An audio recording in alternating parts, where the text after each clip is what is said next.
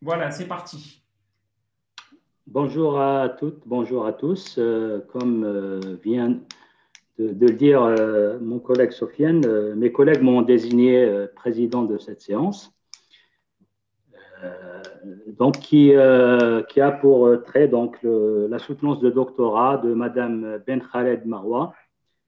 L'intitulé de, la thèse, c'est Modélisation théorique et expérimentale du comportement énergétique et environnemental des matériaux de construction biosourcés.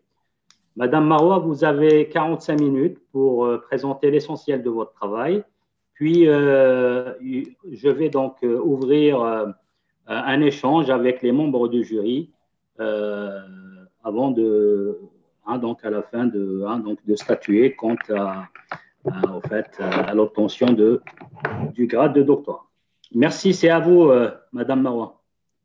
Mettez, mettez, euh, mettez votre, présence, votre présentation. Moi, je ne la vois pas, donc. Euh, en mode de présentation.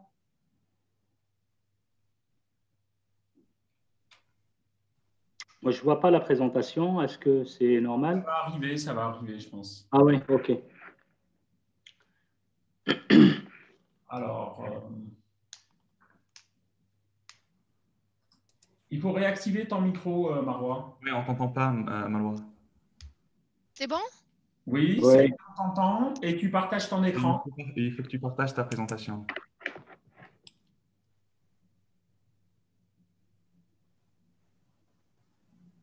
Très bien. C'est bon? Euh, Est-ce que vous pouvez mettre en mode présentation? Parce que là, on voit le... Oui, j'attends juste réduire en fait les... Ok, parfait, parfait. Donc, vous avez 45 minutes hein, de présentation. Merci.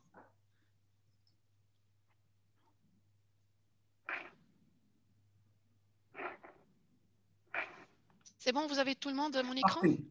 Ah c'est parfait. Là. À vous. Hein. Monsieur le Président, membre du jury, bonjour. J'ai l'honneur de présenter devant vous aujourd'hui l'essentiel de mes travaux de thèse intitulé Modélisation théorique et expérimentale du comportement énergétique et environnemental des matériaux de construction biosourcés. Cette thèse est financée par le Conseil général de département d'Allier et l'Institut Pascal. Dans cette présentation, je commencerai par le contexte environnemental et problématique. Marois, tu te mets en face de ta caméra. Juste, je t'interromps un instant. Voilà, très bien. Euh, je présenterai euh, les résultats d'une caractérisation expérimentale des propriétés hygrothermiques euh, de béton de chanvre réalisée dans le cadre des travaux de RILEM. Une deuxième partie où je vais m'intéresser à la modélisation et validation numérique d'un modèle de transfert hygrothermique dans l'enveloppe de bâtiments en béton végétal et je terminerai par une conclusion et perspective. En effet, dans le, contexte, euh, dans le contexte, climatique et économique euh, actuel, l'optimisation des performances, euh, des, performances de bâtiments pour gagner en confort intérieur, en consommation d'énergie et en respect de l'éthique environnementale s'avère très nécessaire. Pour ce faire, on va choisir, on va utiliser de la biomasse type des matériaux de construction à fort pouvoir d'isolation euh, mais étanches.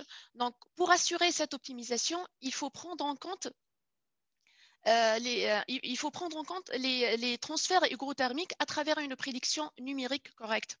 En revanche, il y a un manque de connaissances euh, sur l'impact de l'incertitude et la variabilité de certains paramètres d'entrée liés aux propriétés euh, euh, du matériau étudié sur le comportement thermique et hydrique. Donc, dans cette étude, on s'intéresse à l'enveloppe de bâtiment qui est toujours en interaction avec l'environnement extérieur et l'air intérieur qu'on souhaite maintenir à une plage restreinte de température et d'humidité relative. C'est pour cette raison la modélisation des transferts couplés de chaleur et de masse dans l'enveloppe de bâtiment est très utile pour prédire le comportement hygrothermique des matériaux et ainsi pour assurer le confort, euh, euh, le confort euh, assuré aux occupants. Donc, le matériau qui nous intéresse ici, qui va faire l'objet de notre étude, c'est le béton de chanvre. Pourquoi le béton de chanvre? Parce que c'est un matériau qui permet de maintenir des impacts environnementaux faibles En effet, donc, ça, son impact à, gaz à effet de serre est négatif, ainsi que sa consommation en énergie grise, elle est très faible et à moitié de la consommation de béton cellulaire. Aussi, l'horizon de l'efficacité de ce matériau, euh, issu de sa capacité à gérer le processus de changement de phase qui génère trois propriétés. La première, euh, c'est euh, sa capacité à amortir les variations externes donc de température, de température, ainsi que sa capacité de stocker et de restituer tout en restant en équilibre avec l'environnement intérieur. Cela est traduisé par la valeur de MBV. Et troisièmement, sa, euh, capacité à, réguler et maintenir une température constante et même niveau que euh, la température euh, dans l'ambiance intérieure.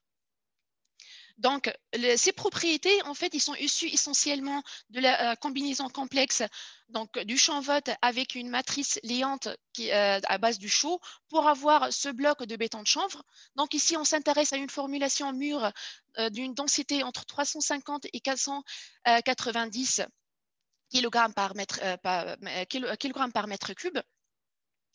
L'originalité de ce matériau est issue essentiellement en fait, de euh, sa morphologie euh, multi-échelle. Donc, si je m'intéresse à un, granulat de, de de, de, 4 à 12 mm, sa structure à l'échelle microscopique, on voit ici une euh, distribution porale assez riche qui varie entre 10 et 100 micromètres, ainsi que la porosité aussi de la matrice et on peut voir aussi une, une porosité à l'échelle macroscopique qu'on peut voir ici à l'œil nu. Donc, tout, c'est euh, en fait cette structure ou cette morphologie du béton de chanvre lui confère une légèreté, qu'on peut la voir ici à travers cette courbe de la porosité en fonction de la densité. Si je, m'intéresse à une densité euh, euh, de la paroi entre 300 et 400, euh, donc ici, on a une porosité de 75%. Cette, cette, légèreté aussi, elle influe sur la conductivité thermique. Donc ici, pour, une formulation mûre, on a une conductivité de l'ordre de 0,1 watt par mètre Kelvin.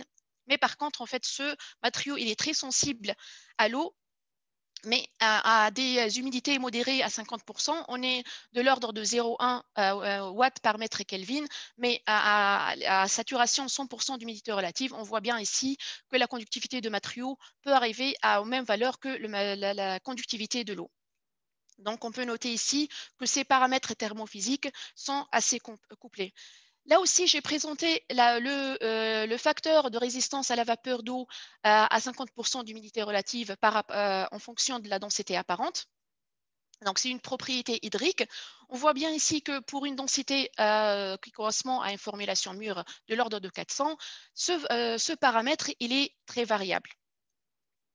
Donc, dans ce cadre-là, euh, s'intègre notre deuxième partie de, notre deuxième partie de cet exposé de euh, serrer cette variabilité à travers une caractérisation expérimentale des propriétés thermohydriques de béton de chanvre qui a été réalisée dans le cadre des travaux de RILEM. Il s'agit ici d'appliquer le même protocole pour le même matériau pour avoir donc, euh, les mêmes résultats dans tous les laboratoires participants.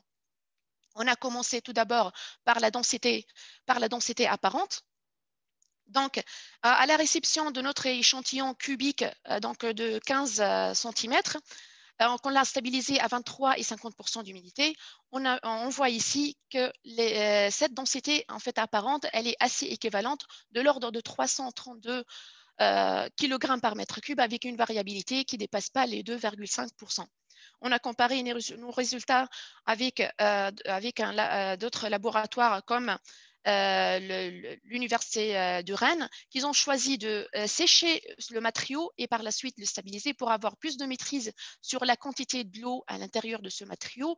On voit bien ici que le, ce, euh, en fait, ce paramètre, il est toujours euh, euh, équivalent, donc c'est assez équivalent, ainsi que la différence entre les, donc ici la, variabilité aussi ne dépasse pas les 2%, et la différence entre les résultats ne dépasse pas les 4 kg par mètre cube. Donc, globalement, ici, on a tous travaillé sur, le même, sur la même densité apparente du béton de chanvre. Deuxièmement, on a mesuré la conductivité thermique pour 13 duos de, béton de chanvre donc, cubique d'arrêt 15 cm avec la méthode de, fil chaud. Ici, les, échantillons ont été mesurés à sec. Donc, les résultats sont montrés ici pour trois directions différentes. On voit ici qu'il y a une équivalence des, résultats ou des mesures de l'ordre de 0,08 watts euh, par mètre euh, Kelvin, et euh, donc avec une variabilité qui ne dépasse pas les 9%. Les autres laboratoires, en fait, ils ont convergé aux mêmes valeurs avec la même variabilité en utilisant en fait les mêmes conditions et la même euh, euh, méthode de mesure, mais en fait une euh, variabilité ou une dispersion qui se manifeste à partir des humidités relatives un peu plus importantes, à 50% d'humidité par exemple, on voit bien que la, variabilité, elle, dépasse les 20%. Donc on peut dire ici que la conductivité thermique euh, donc, elle est équivalente ou euh, cohérente entre tous les laboratoires et euh, la différence ou la dispersion est due à une quantité ou une teneur ou non différente. Par la suite, on a mesuré la valeur de MBV. Donc ici, le protocole était un peu plus précis au niveau de la, du choix du surface d'échange ainsi que la direction de compactage et euh, la, vitesse de l'air qui ne dépasse pas le 0,15 mètres par seconde au voisinage des échantillons. Donc, nous, on a testé quatre échantillons qu'on l'a mis dans une boîte, euh, donc euh, dans un carton, pour minimiser l'effet de la vitesse dans l'enceinte climatique. Donc, les mesures ont été, les prises de poids en fait, ont été faites cinq fois en absorption et deux fois en désorption. Les mesures de MBV ont été euh, donc réalisées à travers cette formule en utilisant les humidités relatives expérimentales donc euh, récupérées pendant cette, euh, cette mesure. Les résultats ici dans notre laboratoire pour les quatre échantillons montrent une variabilité de l'ordre de 20%. Et cela est dû à la technicité en fait de, des mesures. Donc, mais néanmoins, la, la, valeur de MBV, elle est supérieure à 2, donc ce qui classe ce matériau comme un excellent régulateur. On a comparé nos résultats par rapport à d'autres laboratoires. Donc, on voit ici qu'il y a une dispersion assez importante. Pour une moyenne là, de 2,55 entre tous les laboratoires, la, euh, variabilité, elle, est de l'ordre de 17%. Donc, euh, on a relevé en fait les, euh, les, quelques causes de cette variabilité. Donc, premièrement, c'est dû en fait à une vitesse d'air différente. En tous, on n'a pas pu reproduire la même vitesse recommandé, ainsi que on n'a pas tous utilisé la même surface d'échange, donc soit coupée ou moulée, et même son orientation par rapport au flux d'humidité, ainsi que le flux d'humidité par rapport à la direction de compactage. La dernière mesure expérimentale qui a été faite dans ce cadre de travaux, c'est la perméabilité à la vapeur d'eau par la méthode du Coppel sèche. Donc, on a testé trois échantillons dans l'enceinte climatique, dans une ambiance de 23 degrés et 50% d'humidité relative pour une vitesse euh, supérieure à 2 mètres par seconde. Donc, les mesures euh, de, poids ont été relevées régulièrement. comme on le voit ici, euh, donc la, masse en fonction du temps et on a mesuré le facteur de la, résistance à la vapeur euh, d'eau qui est de l'ordre d'une moyenne de 3,14 avec une variabilité de 3,5%.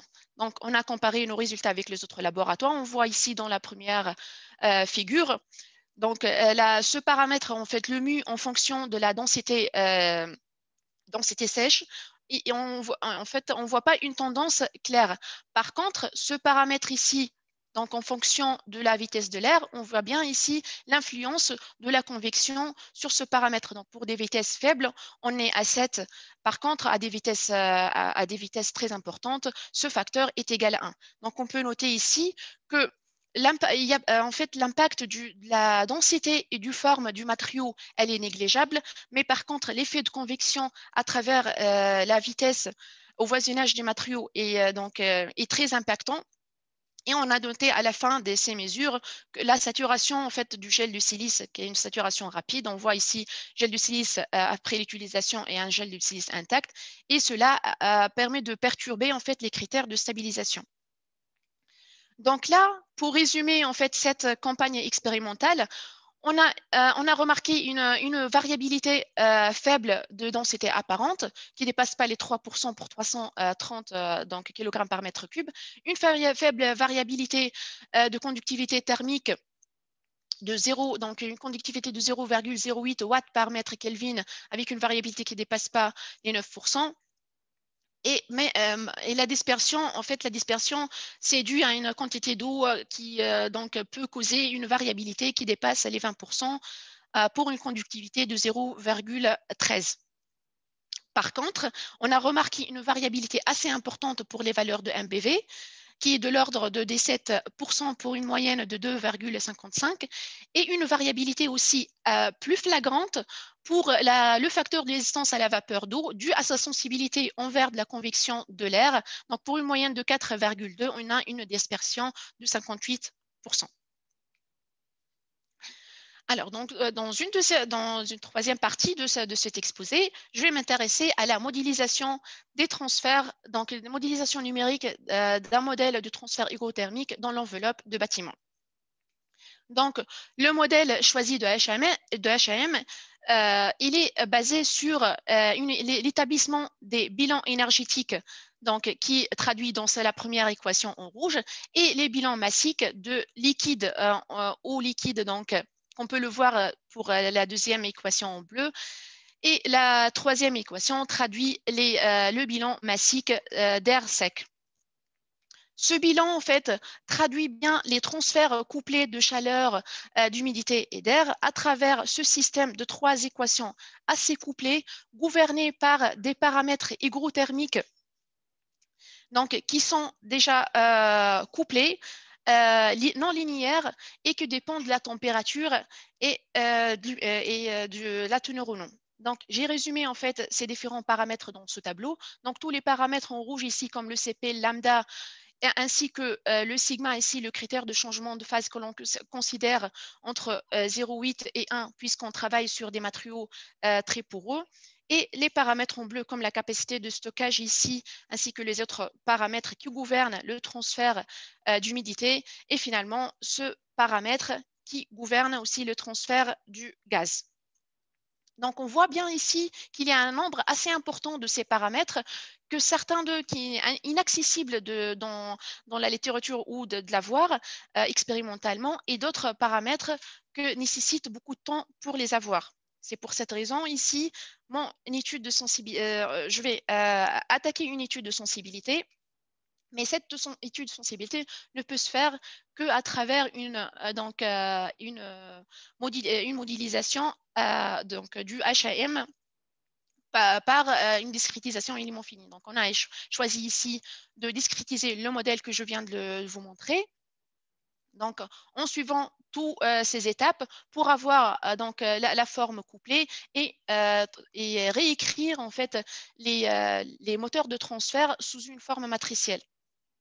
Donc ici, les entrées, donc tout ça, ça a été codé sur MATLAB. Mes entrées ont été les, conditions climatiques, les conditions initiales ainsi que les propriétés hygrothermiques. Par la suite, donc, je présente ici les, euh, nœuds, euh, donc la discrétisation spatiale et les discrétisations temporelles ainsi que les itérations. Là, les matrices correspondent aux euh, propriétés hygrothermiques du matériau. Pour finalement trouver cette équation, qu'on va déterminer à partir d'elle l'évolution de, des moteurs du transfert, donc les trois moteurs du transfert à partir d'une résolution donc, euh, algorithmique, on remonte cette euh, élévation en fait au nœud euh, précédent pour avoir finalement donc la valeur de ou bien la quantité de la du pour chaque la valeur pour chaque moteur de transfert dans chaque nœud. Donc pour la température, la, la, pression de vapeur et pour donc et pour la pression de gaz. Là, donc, on est parti d'une forme différentielle. On est arrivé à une forme donc, euh, matricielle va, c'est cette forme qu'on va, qu'on l'a introduit sur MATLAB. Donc, pour avoir plus de confiance euh, dans notre, pour, en notre code, donc on a choisi de le valider par rapport à un benchmark HAM STAD. Euh, on a choisi la deuxième configuration qui correspond le mieux au type des études qu'on va les traiter. Donc, pour une paroi de 20 cm. Donc, elle est stabilisée entre, à 20 degrés de température à une humidité relative de 95%. donc, on applique de part et d'autre une gradient de température en gardant toujours la température constante. Donc, ici, l'humidité est 45% et de l'autre côté, 75%. Là, les, différents paramètres introduits dans notre code pour avoir finalement, euh, en fait, ici, l'évolution de la teneur au non euh, en fonction de la position dans la paroi. Donc, on voit bien ici que pour, donc, euh, en fait, cette simulation ou cette évaluation, elle a duré 1000 heures.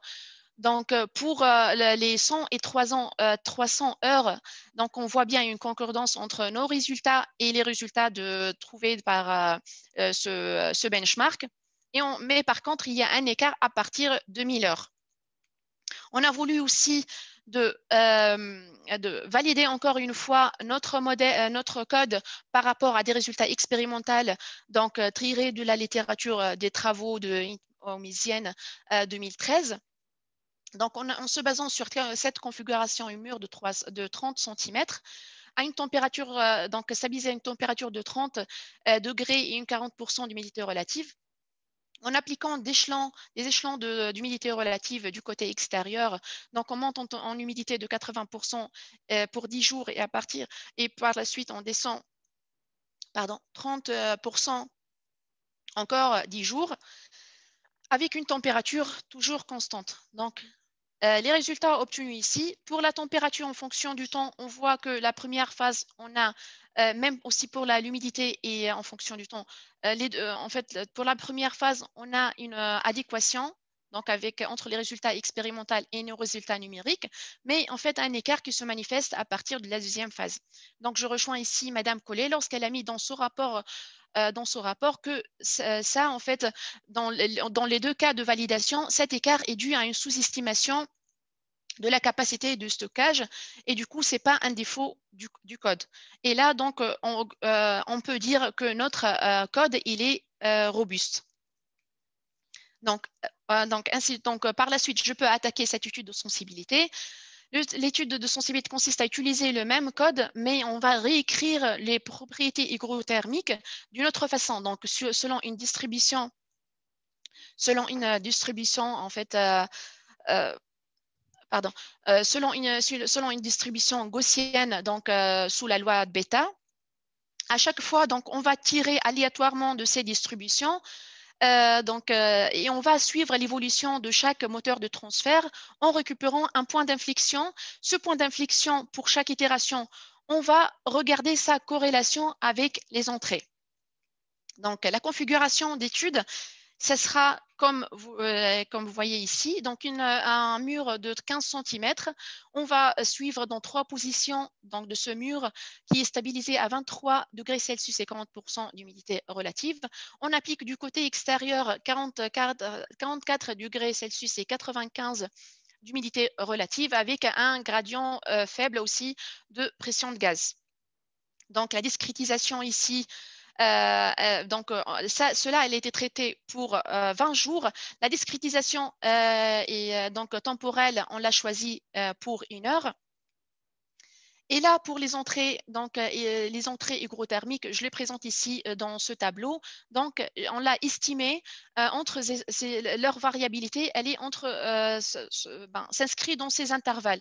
Donc, avec, je présente ici la moyenne et l'écart type pour avoir une gaussienne centrée où on va tirer aléatoirement nos paramètres d'entrée. Donc, je vais expliquer ici un peu plus euh, d'une façon explicite. Donc, je prends par exemple ici l'évolution de la température dans trois positions de la paroi euh, en fonction du temps. Si je m'intéresse à à la position centrale ici, donc, je vois bien ici un point d'inflexion. Ce point d'inflexion, il est donné pour donc des paramètres d'entrée euh, fixes. Mais là, si je varie tout au même temps et je récupère 10 000 euh, valeurs de ces 10 euh, 000 valeurs aléatoires de tous ces paramètres en même temps, donc je peux avoir ce nuage de points, des points d'inflexion. De, donc là, je présente par exemple les points d'inflexion de la température en fonction donc, de la, variabilité en fait du, lambda, la conductivité thermique. Donc là, euh, bien évidemment, il y a une corrélation entre la température et la conductivité qu'on détermine à partir de la coefficient ou de la pente de cette euh, droite en rouge qui représente notre valeur de corrélation. Donc pareil, euh, donc ça c'est pour la température. Pareil pour les autres paramètres, pour la pression de vapeur et la pression de gaz. Donc, à chaque fois, on suit le même processus et on récupère des points d'inflexion. Par exemple, toujours ici, je m'intéresse à lambda, mais par rapport à la pression de vapeur, on voit bien qu'il n'y a pas une corrélation. Et pour la conductivité par rapport à la pression de gaz, donc il n'y a, pas aussi une corrélation. Donc, j'ai résumé tout ça dans ce diagramme de radar où j'ai déterminé les corrélations qui, entre 0 et 1 des différentes propriétés hygrothermiques qui sont les entrées par rapport aux, sorties qui sont les moteurs de transfert. Si, je prends un exemple ici, l'évolution de la température en rouge, donc je vois bien une corrélation donc, de lambda, de la conductivité et de la capacité euh, euh, calorifique, mais, euh, mais aussi je vois ici une corrélation avec le paramètre Km qui représente la perméabilité à la vapeur d'eau. Donc, à partir de ça, je peux déduire qu'il y a de certains paramètres qui n'ont pas une influence sur les transferts hygrothermiques. Du coup, je peux les geler. Donc, euh, à partir après cette, euh, processus donc, où j'ai euh, gelé ces paramètres, j'ai obtenu ce modèle réduit. Donc, un modèle réduit simple qui, qui construit de deux équations couplées. Donc, pour conclure ici, pas, on, est, parti d'un système de trois équations à 10 paramètres. On est arrivé à un système plus simple, qui on l'appelle un modèle réduit, de 5 paramètres. Donc, ce modèle réduit va faire l'objet d'une étude adimensionnelle qui consiste à séparer les variables donc les moteurs de transfert ici, par exemple, et la position et le temps, et les, paramètres hygrothermiques que je l'ai présenté ici en fonction de l'unité de base pour chacun, pour chaque valeur ici, donc dans ce, tableau. Par exemple, je prends un exemple, le KM ici, qui représente la perméabilité à la vapeur d'eau, il est homogène à un temps. Par la suite, j'ai proposé une nouvelle nomenclature où j'ai proposé donc des variables normalisées je divisais en fait mes, euh, tous les variables euh, par des nombres d'échelles. Ces nombres d'échelles, après, je vais les affecter dans ce tableau donc aux propriétés hygrothermiques, de telle façon qu'on peut avoir le même, donc à travers une combinaison de ces paramètres hygrothermiques, on peut avoir le même unité de base. Par exemple, on a dit tout à l'heure que le Km, la pression de la perméabilité à la vapeur, elle est homogène à un temps, donc le TC ici que représente le nombre d'échelles du temps, il est euh, donc euh, là, euh, le KM, on peut l'affecter à TC. Et pareil pour, les autres paramètres. Donc, si je remplace tout, tous les variables en, fonction de cette nouvelle écriture, j'obtiens ce modèle réduit adimensionnel avec deux paramètres. Donc, avec delta et bêta, le delta représente le coefficient que je l'estime comme un coefficient thermique adimensionnel et le bêta, coefficient hydrique adimensionnel. En divisant ces deux paramètres l'un par rapport à l'autre, j'obtiens ce xi que je l'ai calculé pour différents matériaux comme autre que le béton de chanvre. Donc, et je présente ici une échelle qui représente la euh, classification de ces matériaux. Donc, on voit bien ici, par exemple, pour deux matériaux biosourcés comme béton de chanvre et euh, béton euh, de palmier dattier, il est entre, il est de l'ordre donc 16 et 33, qui il est intégré entre le polystyrène et le béton cellulaire.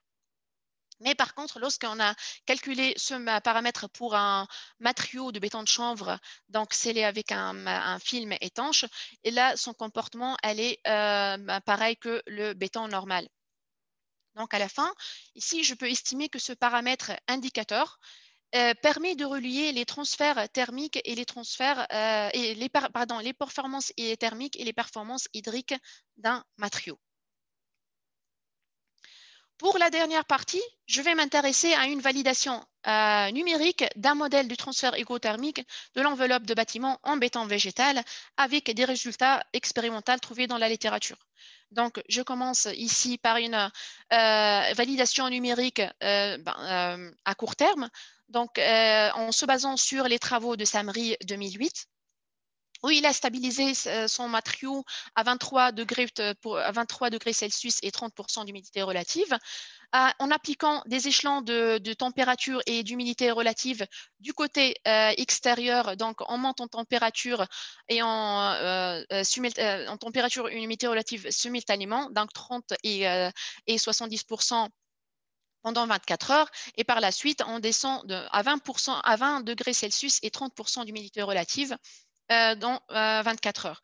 Donc, et en se basant aussi sur ces paramètres donc de, de, son, de son modèle,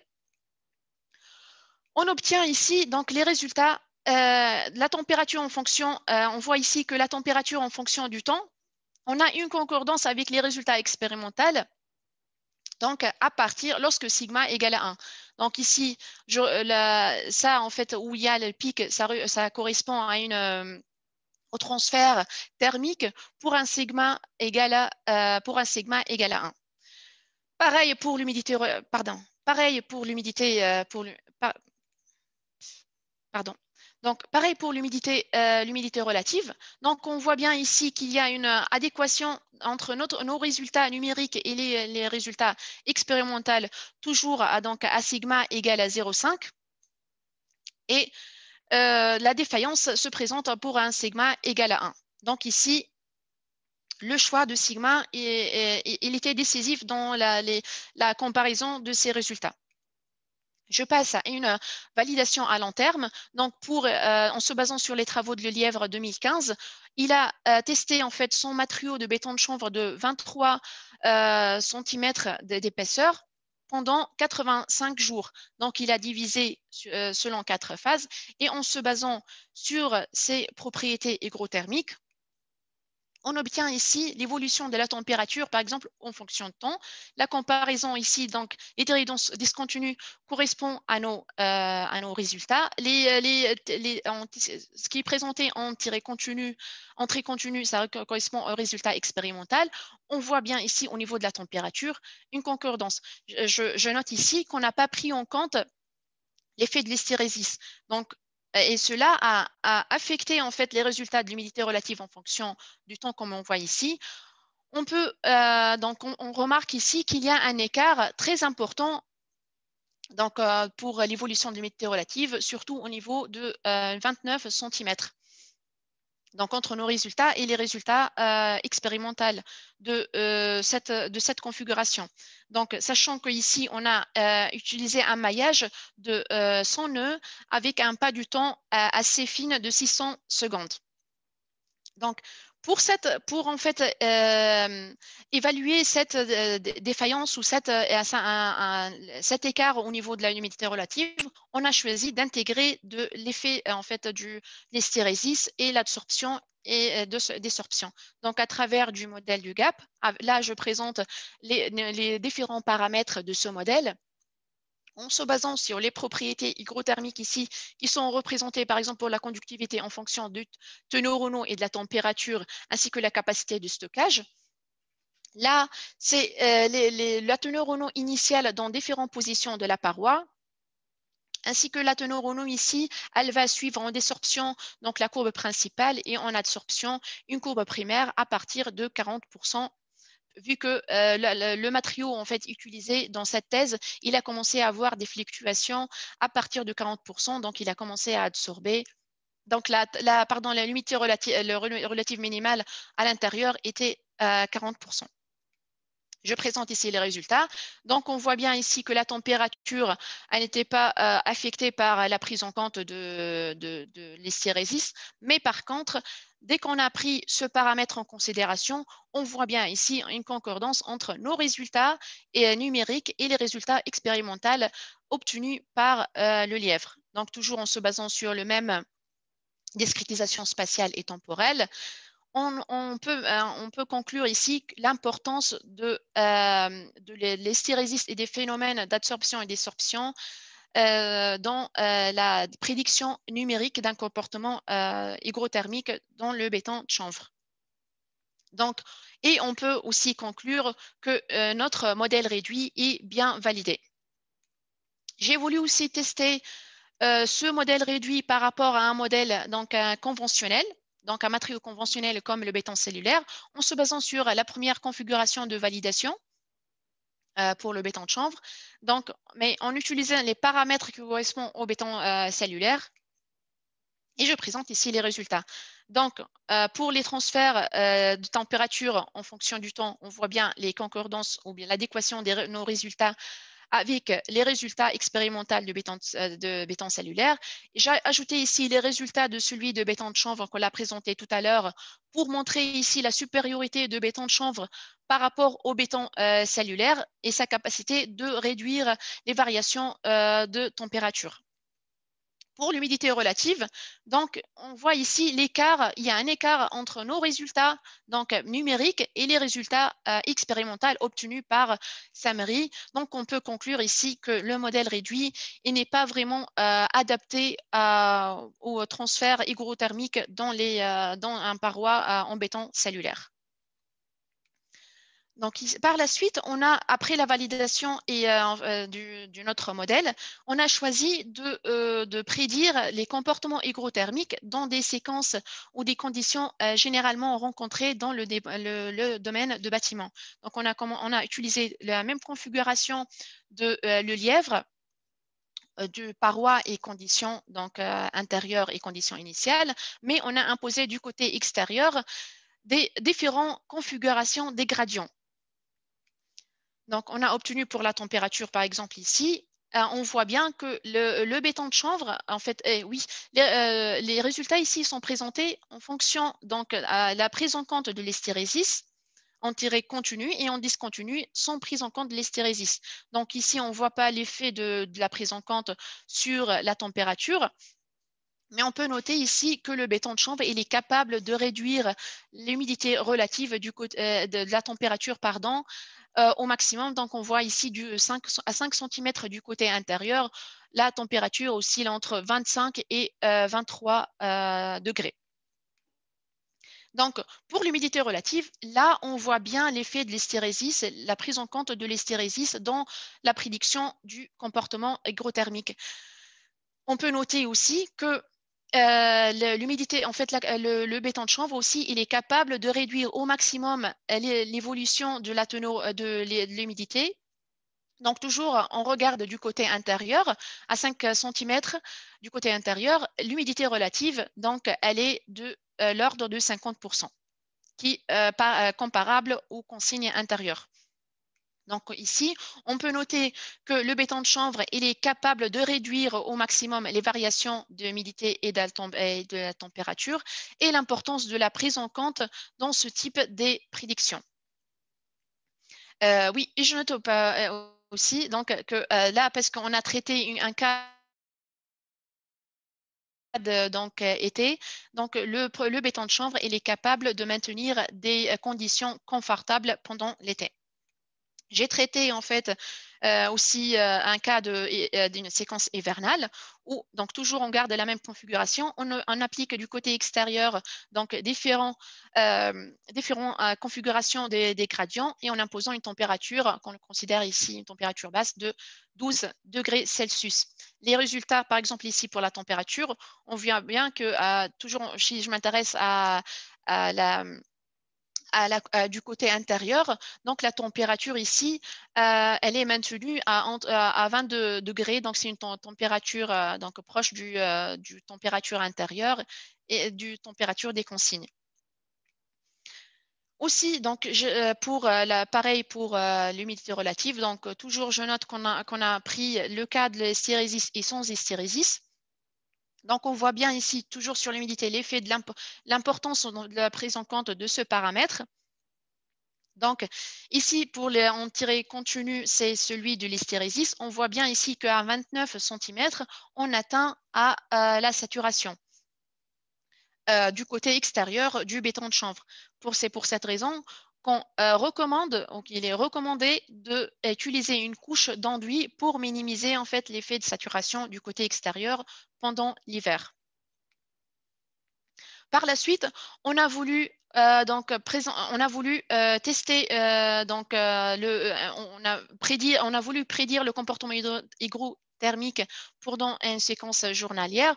On a choisi des séquences donc 12 heures 75%, 3 heures, 12 heures encore, donc 33% à une température constante du côté euh, extérieur. Cela a été effectué pour deux jours. Donc, les résultats obtenus ici, on voit bien que euh, la capacité de béton de chanvre de réduire euh, la variation de température, donc les variations journalières de la température, ainsi aussi là, sa capacité aussi de réduire les variations et de créer aussi des déphasages pour les transferts hydriques.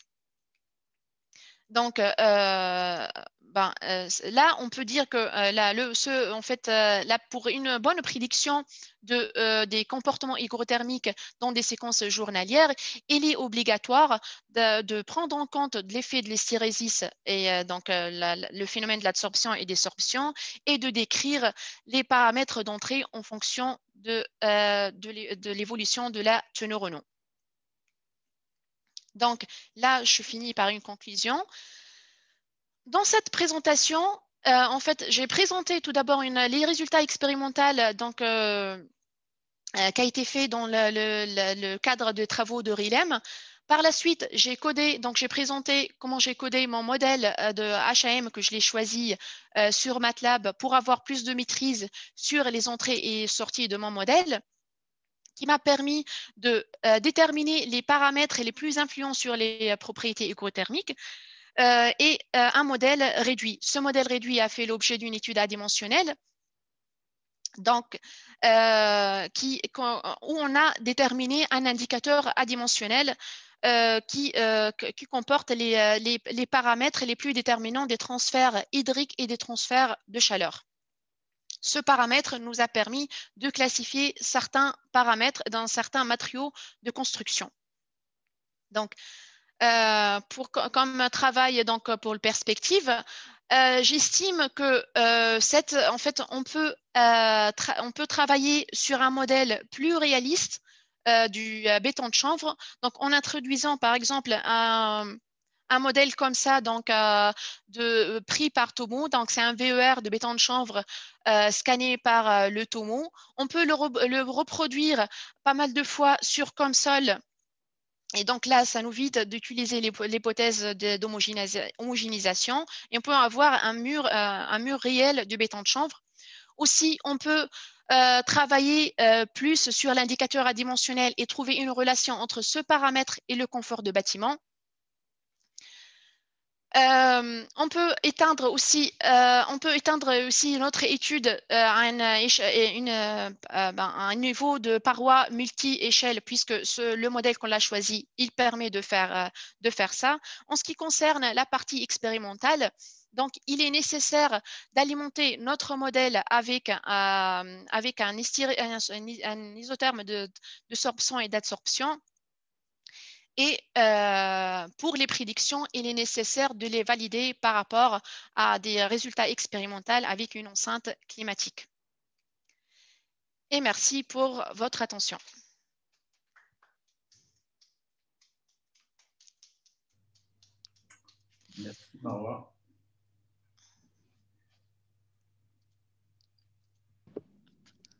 Merci, euh, Madame Ben Khaled, pour euh, cette présentation intéressante. Et donc, euh, sans euh, m'attarder, je vais donner le, la parole au rapporteur. Et au préalable, euh, il est utile de, de, présenter les membres du jury. donc, au niveau des rapporteurs, vous avez Madame Florence Collet de l'Université de Rennes professeur euh, Collet, et Wali Amiri de l'Université de Nantes, professeur à l'Université de Nantes. Euh, au niveau des examinateurs, vous avez Mohamed Sonebi de Queen's University of Belfast et moi-même. Et enfin, donc, vous connaissez vos, hein, encadrants, votre directeur de thèse, euh, le professeur Sofiane Amzian, et votre co-directeur de thèse, euh, Salah Ouled Boukiti. Euh, je donne la parole à Madame Florence Collet, votre euh, premier rapporteur.